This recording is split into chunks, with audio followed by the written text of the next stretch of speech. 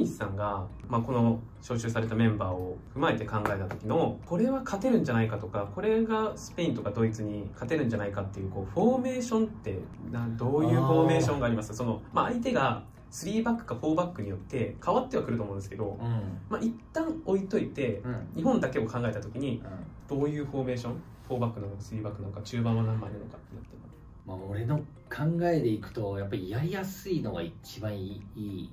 から選手が。ってなるとやっぱ4バックにアンカーが433 433 4141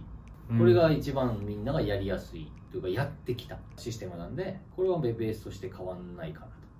でこれでいくだろうなとは思ってます。選手が一番やりやすいのこれ俺らのジーコの時もそうなんだけど3バックやったり4バックやったりでジーコは4バックでやりたいんだけどあの当時3バックの方が多かったのねクラブチームではい。あの経験してる選手が海外にも何人もいた中ででもやっぱり後ろはもう国内組の選手が多かったんで3バックが多かったりしたところもあってじゃあ常真ん中でとかっていうふうにやってたんだけど、まあ、ジーコは、まあ、4バックがね鹿島もそうですけどやってたのもあるんでじゃあ常とユージかのストッパーなのか。でもやっぱこう3バックがあやりやすいっていうことで3バックの真ん中に常を置いてっていう風な、まあ、やり方でずっと来ててイラン戦かな負けてここしっかりと勝たなきゃいけないと。いったところで3バック部にしてくれって言って選手側から言いに行って。うん。言いに行ったからには勝たなきゃいけないわけで。うん。でも3バックにするとある意味重くなるのは重くなるのよ。リスクもあるからなかなか縦にいけないっていうのもあったりするからある程度その重くなるっていうのも踏まえた上でやっぱ勝ちにいかなきゃいけないんでやっぱりやりやすいのが一番いいだろうと。いうふうには今思ってるので今の4バックアンカーっていう中盤のシステ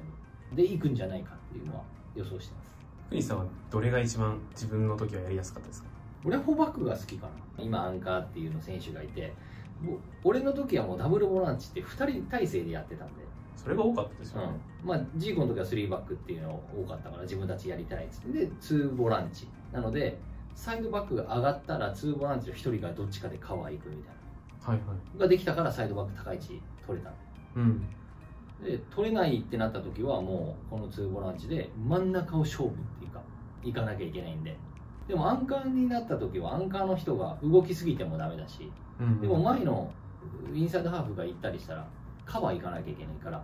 そこのバランスが取りづらいっていうのはこう結構能力高くないとできない。周りを見ながら本当に効率よくじゃないですか、本当効率よくだってこのアンカーの人がサイドにバーって流れるってことはあんまりしたくないわけよ、ですね。うん、ここ空いちゃうからこのスペースが。だけどそれをうまく相手はこのアンカーの両サイドをよく言うでしょ。両サイドを取るって。うん。これってストッパーがなかなか出れない位置なのね。なるほど。これ出ちゃうとフォワードの選手がそこのスペース使うんで空いちゃうからね。でなると時にここの1人のこのサイドをうまくみんなが使い始めるとこの選手がどうすればいいか。戻させた方がいいのか自分が行った方がいいのかとか出たいけど出て出られないとかうんそういう駆け引きが生まれるんで。うんうん。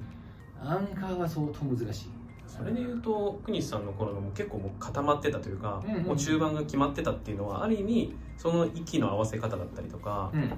アイコンタクトじゃないですけど役割はね。そういうのは結構やりやすかったですやりやすかったですね。もう2人がいるんでどっちかが行ったらどっちか守りましょうとかっていうのができるからううまく合わせやすいんだけど今もう1人なんでこっちのインサイドハーフの人の考え方もそうだしこ右のインサイドハーフの人の考え方もそうだし上下にもズレが出てくるわけ。ようーん。だからこれ別にアンカーで3人つったってダブルボランチでワントップ下みたいなこともできるわけね。はいはい。それをくるくるくるくる回してうまく使えるんだったら俺は相当バランスが良くなるからいいっていうので遠藤田中森田この3人はもうみんなボランチできるしみんな出ていけるのもあるからバランスが取れたと思ってるなるほどですね。じゃあこれがじゃあ鎌田にしたら前に行っちゃうと今度2人が残っちゃうし戻って気は使ってくれるんだけど大事なとこでいないじゃん。攻撃に行かなきゃいけないから、そうですよね。うん、役割がちょっと違うでしょ。とかっていうのでバランスが崩れたりと。かこういうことが起こり得る。なのでこう見てると面白いってこ本当にもうそろそろやっぱりアンカーのその中盤がめちゃくちゃ優秀で固めていくのか、まあ、本当周りも固めていかないとなんかいざとなった時混乱しないかなってはとで混乱はさせられるよ絶対。レベル高いし。で相手を対策された時に遠藤が潰されて。じゃあ誰が起点になるのとかつなぎに入るのって言った時にちょっとドギマギしたというかうまくできなくて乾杯ぐらいもう何もできなかった。じゃあこの選手を潰された時に違う人ができんの。でその後に田中碧になったのよ。で遠藤前にしたの。そしたらつなぎがうまくできた。だけど今度は攻撃のところでなかなか手薄になってしまった。っていうそこの局面だけ見たらできるけどその先見たら次点取りたいのか守りたいのかっていうのがまた変わってくるんで難しいのよ。それをうまくいったらいいけどじゃあできなかったら誰変えんのとか誰か変わったら変わるから。あそこを監督がメンバー含めてどういったシミュレーションをしてで今状況どうなってるかってここを抑えに行くとかまたこう変わってくる。結構テストマッチでそういう中盤のとこだったりは注目ですね、で中盤はもうねずっと注目うまくいったんであればこれコンディションが今バラバラなのでそのコンディションを見つつワールドカップに向けてもう1ヶ月ちょやろっていう状況の時に調子が悪い人が上がる可能性があるのかとかその選手を入れてみたらチームがどうなったかとか。調子いいから入れたもちろんなんだけどそこで合わなかったら意味がないんで、うん。まあ、そういう微調整もしながら、まあ、この遠征をやっていく。結構細かいところまで見てると最終段階ではだからよ本当に。メンバーもある程度決まってると思うよ、まあ、もちろんこの30人の中から選ばれる。プラス板倉浅野あと体調がね不良だって言われてるけど大迫とかをどうすんのとか。ベテランの選手はもうある程度計算もできる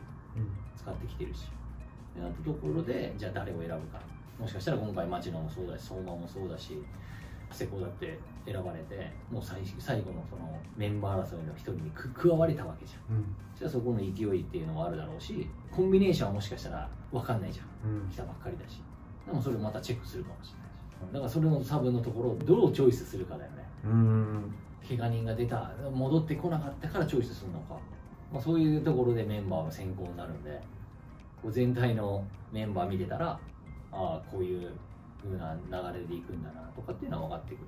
でもし、ね、システムはそこまで変わらないだろうし3バックをしたいっていうのはあるかもしれないけど代表では試してないから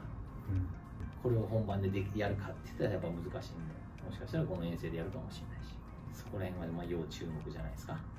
かりましたまたちょっとメンバー発表されてからうん。ちょっと福西さんの見解とかちょっと聞いていきたいなと思うのではい。今日はありがとうございました。はいありがとうございました